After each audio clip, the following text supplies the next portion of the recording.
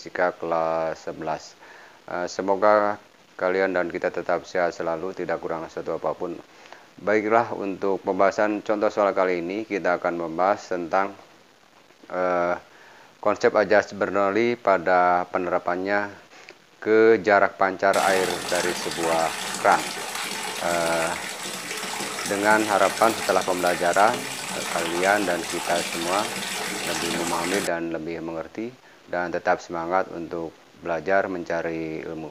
Untuk pembahasan untuk pembahasannya ya, kita akan lanjut uh, berikut ini. Baiklah kita akan bahas uh, contoh menghitung jarak pancar air keran. Uh, soalnya biasanya dibuat dalam skema gambar dan ada redaksi. Ya, eh, supaya lebih jelas bahwa eh, gambar ini menunjukkan bahwa kita akan menghitung eh, jarak pancar air keran dan kerannya ada di dasar tangki. Kemudian ini ini adalah tiang, eh, tiangnya atau penyangganya. Kemudian eh, yang disebut dengan jarak pancar adalah dari terhitung dari sini uh, ke jatuhnya air pancuran atau air ini. Ya, sebagai ilustrasi uh, mungkin seperti ini. Ini artinya uh, ilustrasi dari gambar itu. Ini adalah keran, kemudian ini tangki dan ini adalah uh, penyangga. Dan yang akan kita hitung adalah uh, jarak pancar air dari sini ke sini atau jarak pancar air pancuran ini. Ya, sebenarnya bukan uh, bukan untuk air pancuran saja, tapi uh, dalam bentuk uh, skema seperti ini, ini hanya sekedar contoh uh, air keran biasa juga uh, bisa artinya uh, tidak dalam bentuk uh, seperti ini. Ini hanya sekedar contoh. Uh, skema gambar ilustrasinya adalah seperti ini. Ini adalah uh, keran di bawah uh, di bawah atau di dasar tangki kemudian ini adalah kemudian ini adalah tangkinya. Dan keran ini ada di dasar. Ya eh, kenapa nanti akan ada soal bagaimana kalau kerannya tidak di dasar eh, tidak di dasar eh, tangki? Ya eh, kita lanjutkan. Eh, kita lanjutkan. Eh, eh, langkah yang pertama uh, yang harus kita lihat adalah uh, datanya. Misalnya uh, ini adalah air itu dalam kondisi penuh, ini air. Uh, kemudian misalnya ini das ini adalah 8 meter misalnya dan kemudian si tiang penyangga ini biasanya dicantumkan datanya misalnya uh, uh, uh, 2 uh, meter misalnya uh, eh, 2 meter. Ya, uh, kemudian yang dimaksud dengan pertanyaan ini adalah uh, tentu uh, tentukan jarak pancar air keran artinya ini inilah uh, yang ditanyakan atau yang dimaksud dalam soal ini. Redaksinya sebuah tangki air dipasang seperti gambar jika keran dibuka tentukan jarak pancar air. Datanya misalnya seperti ini. Ya.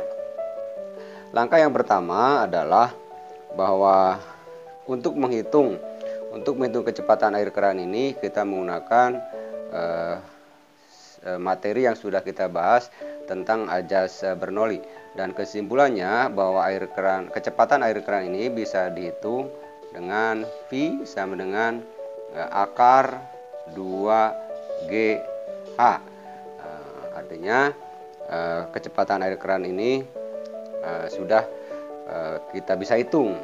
Uh, kalau datanya seperti ini, ini tinggal masukkan ini angka 8 misalnya. Ini artinya kalau dihitung uh, yaitu 2 kali 10 kali 8 kalau mau dimasukkan uh, yaitu uh, misalnya ini akar uh, 8 kali 16 160 uh, meter per detik inilah kecepatan air kerannya. Nah, untuk menjawab jarak pancarnya, ingat bahwa konsep yang dipakai ini adalah seolah-olah air ini dalam bentuk gerak jatuh eh, dua gerak atau eh, gabungan dua gerak. Yang pertama adalah gerak eh, mendatar, yang kedua adalah gerak eh, seperempat peluru atau gerak eh, melengkung.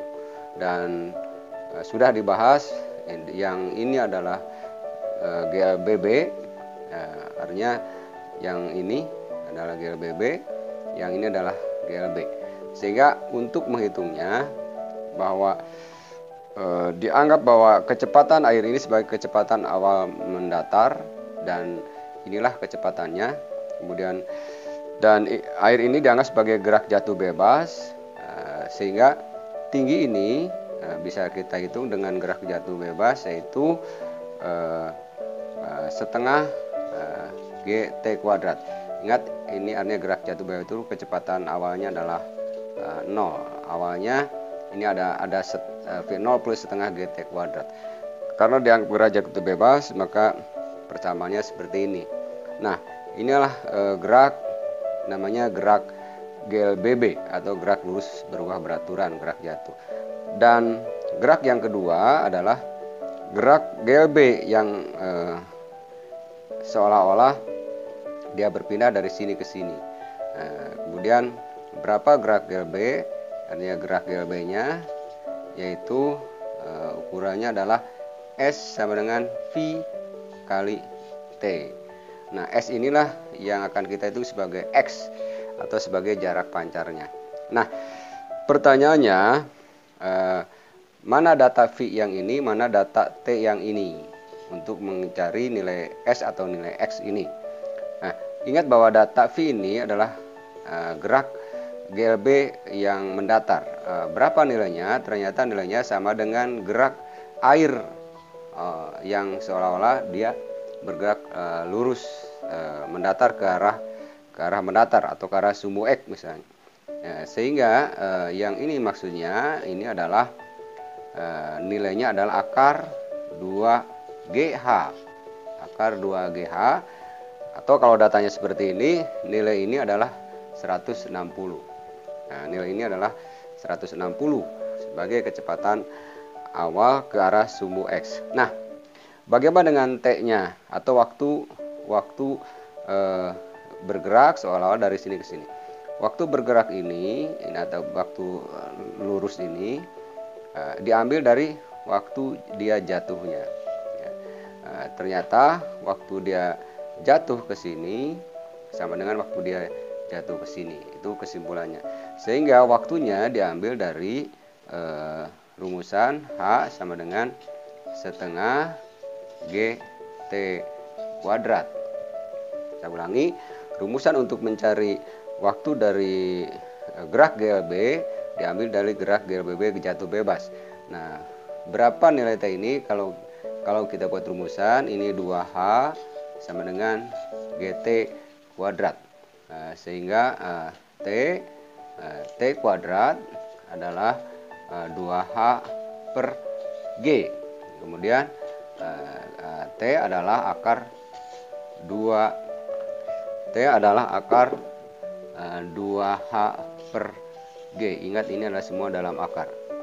Akar 2H per G nah perlu dicatat bahwa untuk menghitung uh, waktu jatuh ini adalah yang haknya adalah hak tiang. Ini adalah tiang. Jangan lupa bukan tinggi 8 tapi tiang. Atau e, terhitung dari air itu jatuh ke bawah. Artinya tingginya hak dan hak itu nilainya setinggi tiangnya. Nah, sehingga kalau misalnya diambil kalau misalnya dua bisa kita cari nilai T yang ini Nah, berapa nilai T ini? Atau nilai T dari sini ke sini? Nah, kita tulis misalnya di sini akar eh, akar 2H per G. Akar 2H per G. Kemudian berapa nilainya? Nilainya adalah akar dari 2. Ingat hanya bukan 8 karena ini waktu jatuh. Ingat air itu jatuh dari sini ke sini atau dari sini ke sini ke bawah. Eh, sehingga ini 2 kali 2 dibagi 10 atau akar 4 per 10 itulah T nya nah, detik. Nah sehingga uh, ketika kita ingin menghitung X ini atau jarak pancar ini, maka bisa kita hitung yaitu X sama dengan V kali Nah, V-nya, V-nya kalau dalam bentuk angka adalah uh, eh, 160, tapi kalau dalam bentuk persamaan ini artinya uh, akar uh, 2 GH ini V-nya, V-nya ini. Nah, ini V-nya. Untuk T-nya untuk T-nya adalah ngambil dari waktu jatuhnya, waktu jatuhnya yaitu akar 2H per G. Jadi kali akar 2H per G. Akar 2H per G. Ya. Uh, uh, setelah mendapat rumusan ini, kita bisa menghitung uh, nilainya. Artinya nilainya kita hitung tadi sudah. Ini artinya akar uh, 160 uh, meter per detik Kemudian yang tadi kali akar 4 eh, per 10 kali akar 4 per 10 ya eh, bisa dihitung eh, dengan angka. Eh, ini artinya dalam bentuk akar ini kalian bisa sederhanakan.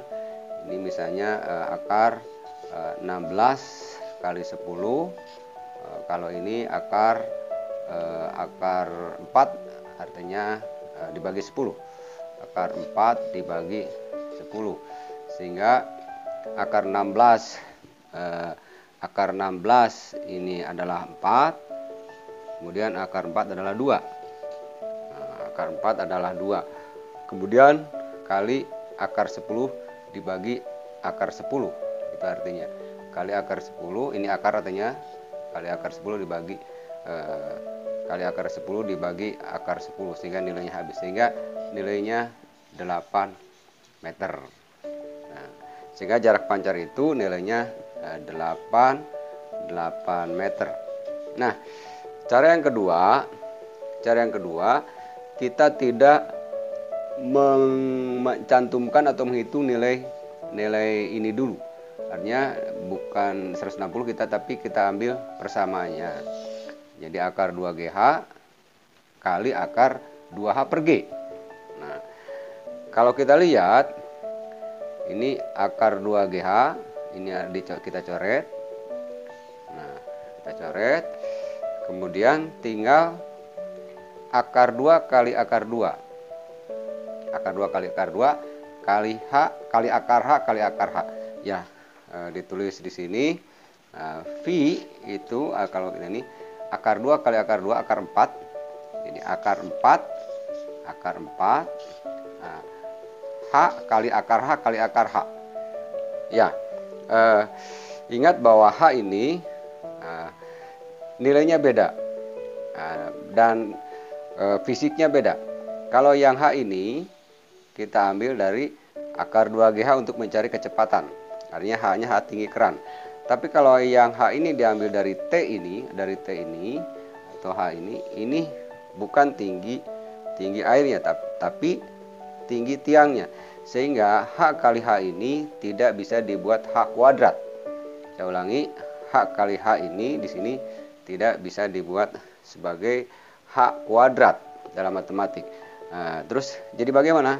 Nah, jadi eh, sederhananya bahwa ini adalah akar 4 bisa kita tarik e, 2 nah, H kali H bukan H kuadrat tetap kali H kali H saya ulangi H kali H kita tulis ulang di sini V adalah eh, sorry X adalah jarak pancar adalah bisa kita tulis 2 kali H kali H nah itu rumusan yang paling mudah eh, kita gunakan dibanding kita men mencantumkan atau mengganti angka dari V dan dari T. Nah, seperti ini. Ini tadi 160, nah, T-nya eh, tadi 4 akar 4 per 10. Nah, kita, apakah nilai, nilainya sama 8? Nah, kita cek tadi nilainya 8 dengan cara memasukkan angka. Ya, bagaimana dengan cara eh, seperti ini? Nah, kita lihat ini H ini adalah H tinggi tinggi air. Ya, jadi ini H H uh, tinggi tinggi air tangki nah, di atas kran itu. Tapi yang H ini adalah tiang dua. Nah, inilah tiang. Nah, sehingga fisiknya berbeda. Nah, dari data bahwa ini tetap angka 2 H. Nah, yang H ini berapa nilainya adalah 8.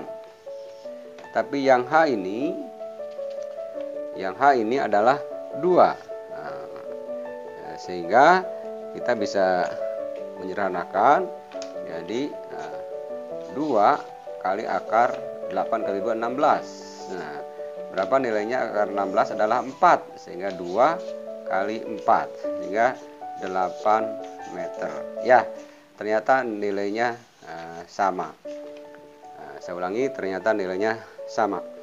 Uh, kalau kalian ingin uh, lebih cepat mengerjakan uh, ternyata uh, rumusan ini lebih lebih cepat uh, mendapatkan jawaban. Dengan catatan kalian atau kita harus memahami bahwa H ini tidak bisa dikuadratkan karena awalnya H ini fisiknya berbeda. Kalau H ini adalah eh, H yang ini diambil dari V tadi akar 2GH, tapi H yang ini diambil dari waktu jatuh. Ulangi, sehingga kesimpulannya eh, kesimpulannya untuk mencari jarak pancar adalah 2H kali H. 2H kali H.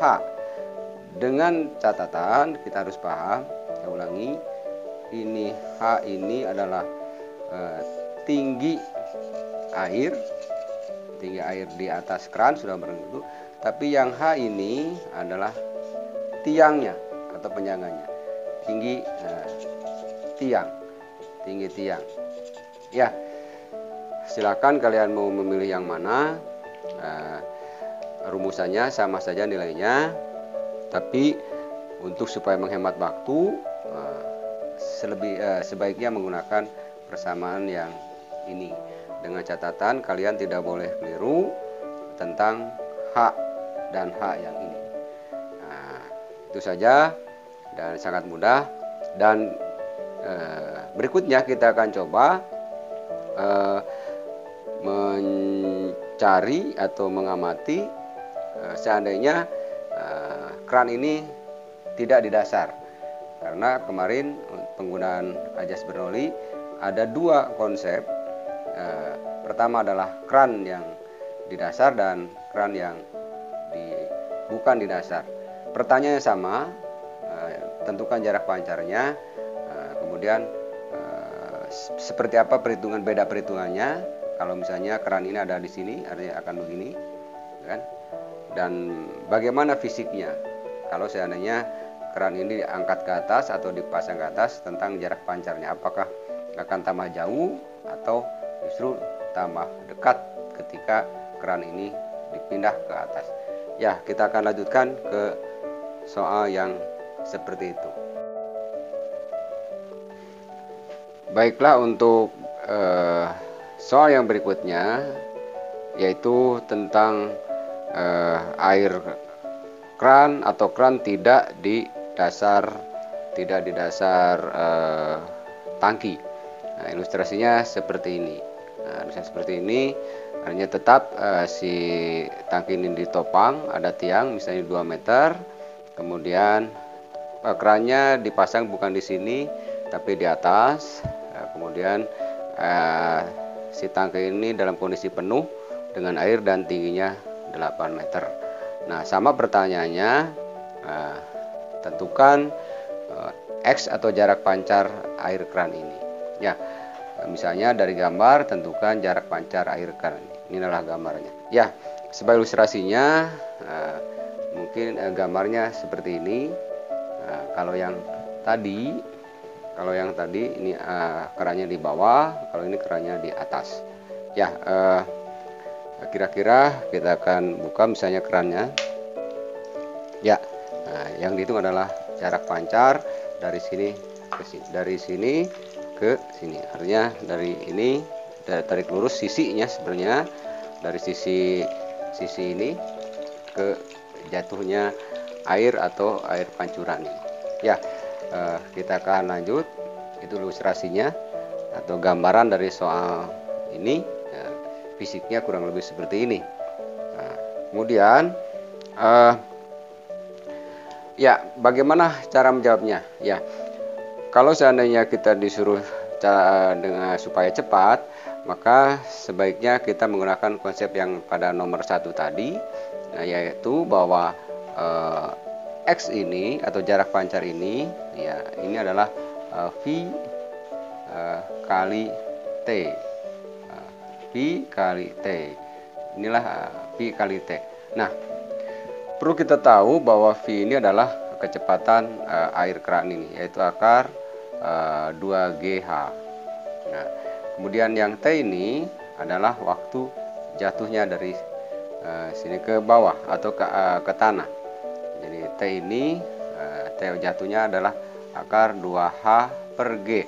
Nah, ketika tadi pada nomor satu kita sederhanakan, ternyata rumusan sederhananya yaitu mendapatkan rumusan 2 kali akar H per H.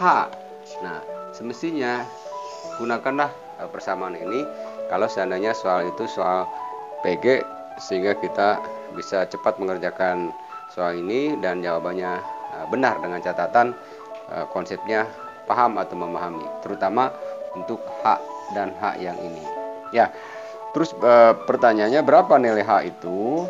Ya, ingat bahwa H ini adalah tinggi air keran. Jadi H ini adalah tinggi air di atas keran. Jadi ini saya ulangi pada konsep sebelumnya, inilah tinggi air di atas keran karena ini adalah uh, awalnya dari rumusan akar akar 2GH ini.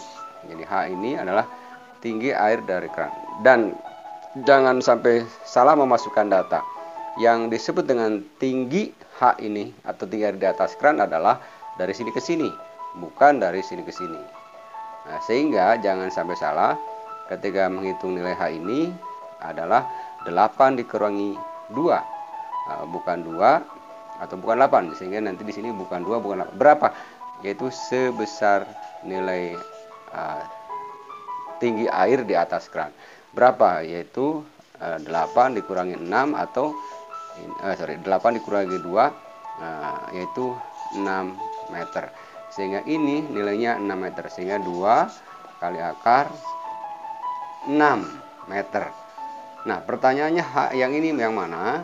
Ingat bahwa H itu diambil dari dari uh, air jatuh ke tanah. Artinya jatuh itu terhitung dari tempat kran itu. Eh, kebetulan sekarang krannya bukan di sini tapi di atas atau bukan di bawah, maka tinggi kran itu adalah atau tinggi air jatuh itu dari sini ke sini. Nah, sehingga jangan salah juga bahwa nilainya berapa bukan 2 meter karena air itu bukan jatuh dari sini sekarang tapi dari atas, maka eh, tinggi air itu eh, dari data ini adalah 2 meter ditambah 2 meter. Sehingga H ini adalah uh, eh, 2 meter tambah 2 meter yaitu 4 meter. Sehingga ini kali 4 meter. Saya ulangi supaya lebih jelas lagi. Apa bedanya dengan yang uh, kran di sini tadi nomor satu? Kran di sini adalah tinggi uh, kran itu ke bawah. Artinya langsung ukurannya dari kran ke uh, ke tanah. Kebetulan eh, karena dia di dasar, dasar tangki yang nomor satu itu, maka tinggi keran ini sama dengan tiangnya atau tinggi tiangnya. Nah, kebetulan kalau soal ini tinggi uh, kerannya di sini, sehingga bukan sama dengan tinggi tangki, uh, tinggi tiang, gitu kan? Uh, air jatuh itu. Di mana air jatuh yaitu dari keran ini terhitung ke tanah, sehingga nilainya kalau data seperti ini adalah 2 ditambah 2 yaitu 4 sehingga nilainya nah, kalau kita hitung 2 kali akar 6 kali 4 eh, 24 eh, 24 meter persegi artinya nanti meter. Nah kalian bisa sederhanakan nah, boleh ini 2 24 itu eh, berarti 4 kali 6 akar. 6 kali 4 4 kali 6 tadi 4 kali 6 kali 4 akar 4 adalah 2 berarti 2 kali 2 akar 6 jawabannya 4 akar 6 meter. Itulah X. Jadi X ini nah, kalau dihitung nah, adalah akar 2 sorry, 2 akar H kali H yaitu eh, tadi eh, 2 kali eh, 6 kali 4 yaitu akar tadi didapatkan nilainya eh, eh, 2 kali 2 kalau disederhanakan kali 6 sehingga eh, 4 akar 6 meter. Ya inilah nilainya. 4 akar 6 meter. Ya saya ulangi. Pendek eh, supaya kita lebih pendek lebih cepat kesimpulannya bahwa jarak pancar itu bagaimanapun kerannya di mana pun kerannya dipasang rumusannya tetap akar eh, tetap rumusannya yaitu jangan lupa adalah 2 akar H kali H. Nah, inilah eh, persamaan yang uh, paling singkat. Dengan catatan kita bisa memahami tentang H yang dengan H ini fisiknya yang mana. Ya eh, itu saja uh, tidak susah uh, gampang uh, tetap semangat. Nah untuk supaya kalian lebih paham lebih memahami sebagai latihan atau praktisnya coba kalian analisa. Kalian ini adalah nomor satu. Tanpa reaksi ini gambarnya. Ini tangki tangkinya penuh dengan air ini air uh, 4 meter. Kemudian ditopang oleh tiang 1 meter dan kerannya seperti ini ini artinya di dasar tangki. Uh, kemudian uh, jarak pancarnya atau X nya berapa? Nah, kemudian yang soal nomor 2 nah, nomor 2 uh, si kerannya posisinya bukan di sini tapi di setinggi 2 meter dari dasar tangki. Kemudian uh, air ini sama dengan tinggi tangkinya penuh 8 meter dan ditopang oleh tiang setinggi 4 meter.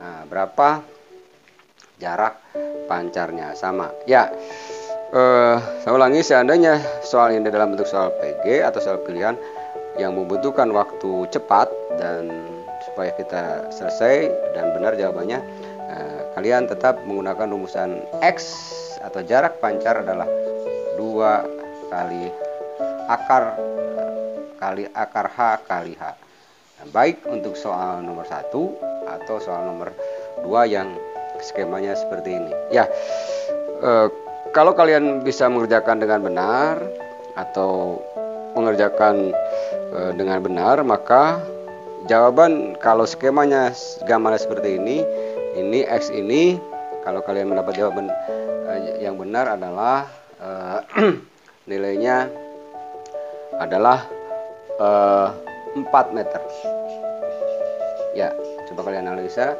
bahwa skema gambar ini kalau kalian menjawab dengan jawaban yang benar maka nilainya uh, 4 meter jarak pancarnya. Nah, e, bagaimana dengan ini? Kalau kalian menjawab dengan benar, maka X ini jawabannya, X ini jawabannya adalah e, 12 meter. Ya, coba kalian analisa bahwa jawaban yang benar bahwa untuk gambar ini adalah jarak pancar ini atau jarak pancar dari sini air adalah 12 meter. Ya, coba kalian kerjakan uh, dengan penuh semangat dan ingin uh, bisa atau ingin paham. Ya, itu saja pertemuan kali ini. Kita akan lanjut ke pembahasan uh, contoh soal yang berikutnya. Tetap kalian dan kita semangat dan mudah-mudahan tetap uh, kita sehat uh, selalu. Terima kasih. Uh, sampai berjumpa uh, pada pertemuan berikutnya.